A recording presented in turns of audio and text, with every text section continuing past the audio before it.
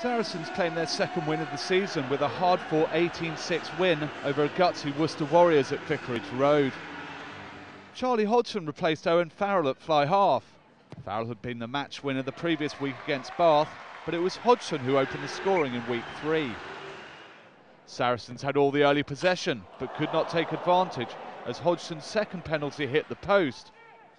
Worcester did take their chances though, Andy Goode levelling the scores with a drop goal. The visitors tackled furiously and the champions struggled to make use of the possession. So it was frustrating for the home support when Goode gave Worcester a 6-3 lead to take into half-time. It was more of the same after the break as Sarries dominated possession but could not break the Warriors' line, mustering only one Hodgson penalty from the first 10 minutes which drew the sides level.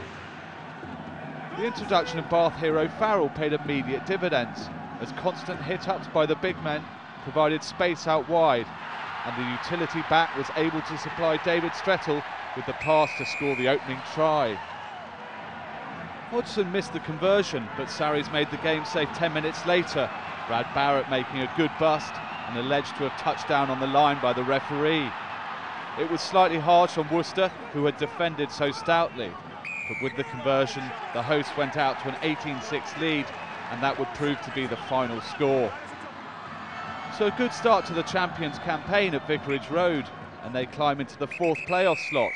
But Worcester, who dropped to 11th, will surely be notching up win number two in a matter of time.